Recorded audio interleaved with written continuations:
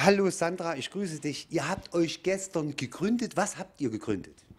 Ja, wir haben die Wählervereinigung für Gera gegründet und ja, gestern mit elf Gründungsmitgliedern und ja, und jetzt starten wir quasi in unsere politische, inhaltliche Arbeit. Warum? Du warst jetzt in den letzten Jahren ja in der CDU-Fraktion, jetzt in der Allianz. Äh, warum neu? Ja, warum haben wir uns gegründet? Ich bin 2014 Stadtratsmitglied geworden, damals noch in der CDU-Fraktion. Und ich habe einfach eine Vorstellung gehabt von äh, kommunalpolitischer Arbeit, von Arbeit im Stadtrat, von Arbeit für unsere Stadt. Und ich habe dann relativ schnell jeweils gemerkt, dass das in diesen Organisationen, in diesen Strukturen, wie es eine Partei äh, bietet, eben nicht so möglich ist, wie ich es mir vorstelle. Ich möchte gern mitgestalten, ich möchte an einem breiten Themenspektrum mit vielen Bürgerinnen und Bürgern zusammenarbeiten und diese Themen sollen dann eben auch Einklang in den Stadtrat finden. Und ich möchte mich nicht orientieren an vorgegebenen Programmen. Und das eint eigentlich uns, die Gründungsmitglieder. Die haben alle diese Vorstellung äh, von dieser Art Politik zu machen und das wollen wir einfach für Gera versuchen. Es ist im, im Namen schon für Gera. Wer kann bei euch alles mitmachen? Oder gibt es bei euch irgendwelche Kriterien, wo er sagt, nö, die machen wir nicht? Nein, bei uns kann äh, grundsätzlich jeder mitmachen, egal mit welchem persönlichen oder politischen Hintergrund. Bei uns sind auch äh, Parteimitgliedschaften kein Hinderungsgrund. Es ist jeder willkommen. Wir wollen neue Ideen mit neuen Leuten sammeln, die wir dann für unsere Stadt verwirklichen können. Das ist sehr allgemein jetzt. Das wollen alle Fraktionen im Stadtrat für unser Gera. Was ist das Besondere dann bei euch? Was ist das andere? Warum sollen die Leute zu euch kommen?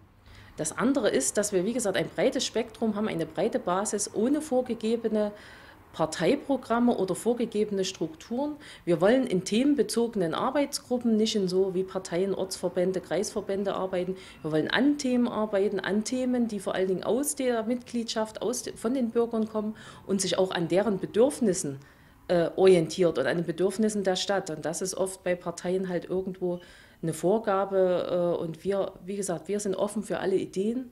Das klingt sehr ambitioniert. Das ist auch viel Arbeit, diese Ideen zu bündeln, auch umzusetzen. Nicht alles wird gehen, aber wir werden gemeinsam gemeinsame Ziele, abrechenbare Ziele vereinbaren, auch vielleicht mit dem neuen Oberbürgermeister, mit anderen Fraktionen, auch das ist möglich. Ähm, wir haben da, wir wollen die Kommunalpolitik einfach, wir wollen der Kommunalpolitik eine ganz andere Struktur geben, wie es bisher der Fall war. Du bist nun von den Gründungsmitgliedern die einzige, die jetzt im Stadtrat sitzt. Wie stellst du dir vor, das letzte gute Jahr jetzt im Stadtrat weiterzuarbeiten in deiner Fraktion? Also ich möchte in meiner Fraktion äh, die Legislatur zu Ende bringen. Das ist noch ein gutes Dreivierteljahr. Und meine Fraktion hat sich Sachpolitik auf die Fahnen geschrieben. Das denke ich, das ist auch unabhängig von der Mitgliedschaft in irgendeiner Wählervereinigung oder Partei. Das denke ich, das geht, das muss gehen. Also mein Wille ist da da. Wie natürlich dann einzelne Stadträte darauf reagieren, das kann ich jetzt noch nicht sagen. Aber ich möchte sachorientiert arbeiten. Da ist es egal, ob ich in der Fraktion Liberale Allianz oder in einer anderen sitze. Und das soll eigentlich auch Motivation sein für zukünftige Stadträte, dass es egal ist, in welcher Fraktion man dort eingezogen ist, dass es um die Sache geht. Wer sind so die Gründungsmitglieder gestern gewesen? Also die Gründungsmitglieder natürlich ich, dann mein Stellvertreter, der Herr Sven Rothe und der Herr Frank Bauer, äh, die Alexandra Klinke, der Thomas Laubert, der Mirko Ratz und habe ich jemanden vergessen? Und der Andreas Hermann, genau. Das sind die Initiatoren, aber dahinter steht eigentlich ein Team von, ich sag mal, 30, 40 Interessenten, die schon lange im Gespräch sind, schon über naja, über ein halbes, dreiviertel Jahr ständig im Gespräch, Mensch, wir müssen was machen.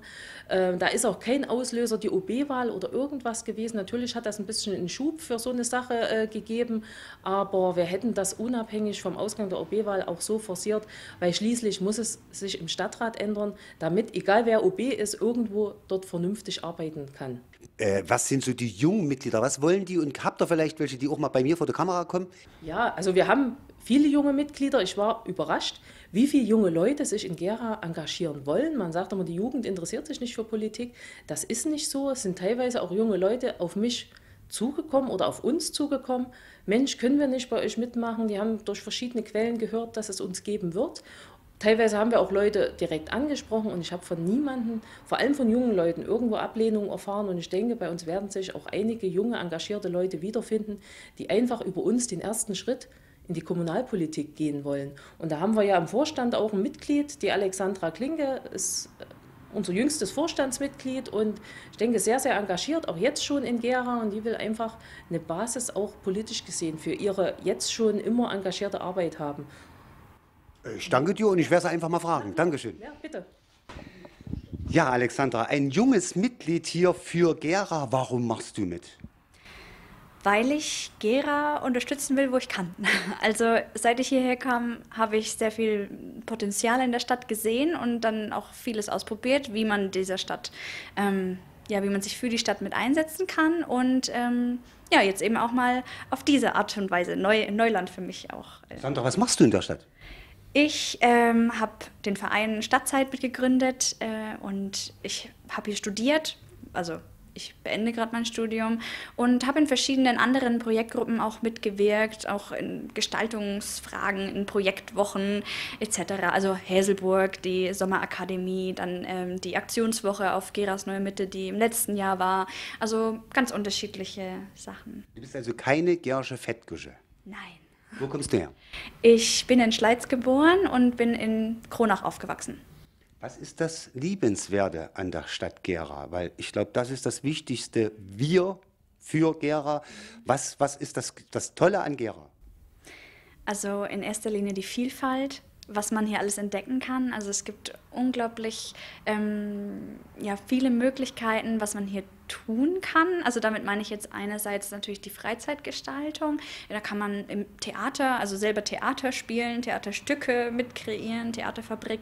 Man kann in so vielen Vereinen tätig werden. Man kann äh, durch den Wald joggen gehen und äh, es ist so wunderschön auch von der Natur her hier und äh, einfach auch die Menschen. Also es gibt hier so viele Menschen, die sich engagieren für ganz unterschiedliche Projekte oder auch ja, also es gibt ganz viele Initiativen und ganz viel Herzblut, was hier äh, spürbar ist. Und ähm, das hat mich in den letzten Jahren auch zu äh, so vielen Situationen gebracht, die ich so ohne diese Initiativen auch mal kennenzulernen oder mal zu sehen, was gibt es so, gar nicht mitgekriegt hätte. Und da, also es gibt unglaublich viel, was man hier tun kann. Ich sage immer, die Stadt Gera sind nicht die Gebäude, die Gera, Stadt Gera sind die Menschen. Genauso empfinde ich es auch und deswegen bin ich eine, gerne eine Gersche Fettkusche. Siehst du genauso? Ja, ja, absolut. Also es ähm, wirklich, ich treffe so viele Menschen, die wirklich mit ihrem Herzen äh, mit der Stadt so mitfühlen, verbunden sind, sich einsetzen.